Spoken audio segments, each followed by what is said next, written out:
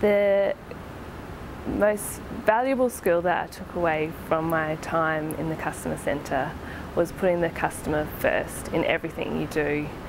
Um, basically, everything rolls out from, from that point. Identify correct information, collate it, relate it to the customer. Uh, it's a lot of interpersonal skills as well. Conflict resolution. Um, so there's a fair bit of uh, conflict in my role at times. Um, so being able to have that experience with uh, calming people down was very, uh, very handy to have. Customer management, in particular dealing with difficult people and people from all walks of life, multitasking, computer literacy and, key, and uh, keyboard skills.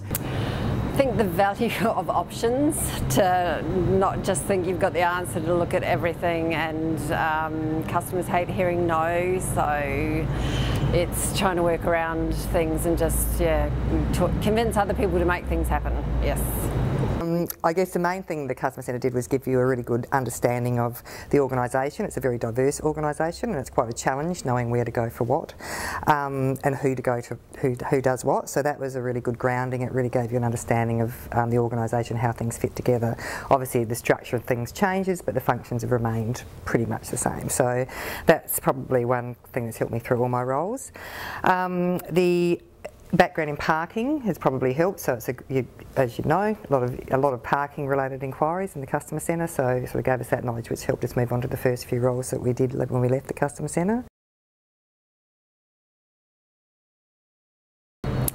Getting that really urgent call and not being able to get anyone in the department you needed. So yeah, that was always very upsetting.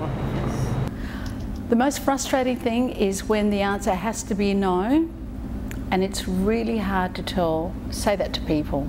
You know, sometimes you empathise with them to such a strong degree, but the answer is still no. Following up on job requests, requests you put through for customers, has it been completed, has it been finished? So there's no there was no sense of closure for me for a lot of the jobs.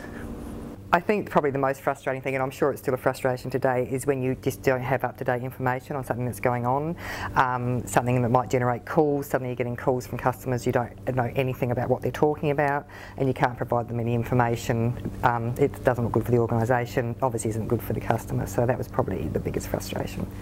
The most frustrating thing was I don't think uh, all council um, departments are aware how important it is to, to open communication with the customer centre and make themselves available to customer centre staff.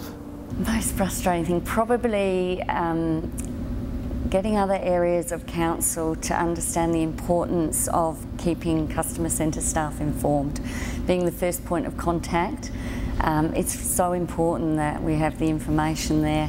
It gives a great, I guess for our customers, it gives them confidence that we know what's happening in our city um, and we understand the importance of sharing that information with them.